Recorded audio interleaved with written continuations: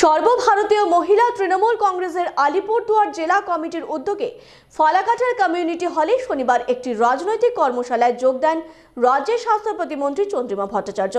মূলত ফালাকাটা বিধানসভার উপনির্বাচনকে পাখির চোখ করে খড় গোছাতে নেমেছে তৃণমূল কংগ্রেস। শনিবারে এই কর্মশালায় উপস্থিত ছিলেন তৃণমূলের তেরোটি সাংগঠনিক অঞ্চলের মহিলা প্রতিনিধিরা। কমপক্ষে এক হাজার মহিলা কর্মীদের স্বতঃস্ফূর্ত উপস্থিতি লক্ষ্য করে ফালাকাটা বিধানসভা পুনরায় দখলে রাখতে নতুন করে অক্সিজেন পেল শাসক দল। ভিড়ে ঠাসা ওই কর্মশালায় চন্দ্রিমা ভট্টাচার্য ছাড়াও উপস্থিত ছিলেন আলিপুরদুয়ার জেলা তৃণমূল কংগ্রেস সভাপতি মৃদুল গোস্বামী সহ অন্যান্য তৃণমূল নেতৃত্ব। বক্তব্য রাখতে গিয়ে চন্দ্রিমা ভট্টাচার্য বলেন যে, শিশু ও নারী কল্যাণের ক্ষেত্রে রাজ্য সরকার ঠিক কী কী ধরনের ভূমিকা নিয়েছে। এছাড়াও তিনি কেন্দ্রীয় সরকারের জনবিরোধী নীতির তীব্র সমালোচনা করেন।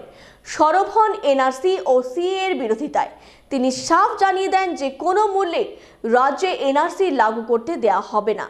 বরং শরণার্থীরা এলে রাজ্য সরকার তাদের পাশেই দাঁড়াবেন। এনআরসি নিয়ে অমিত শাহ ও নরেন্দ্র মোদী দ্বিচারিতা করছেন বলেও অভিযোগ করেন চন্দ্রিমা ভট্টাচার্য। নিজস্ব প্রতিনিধি ফালাকাটা।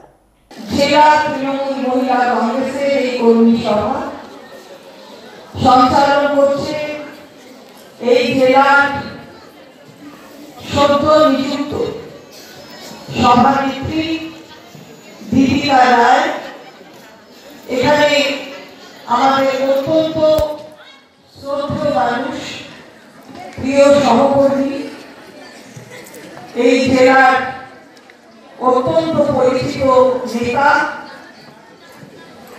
জেলার সভাপতি, মৃদুল গোস্বামী মহাশয় রয়েছেন।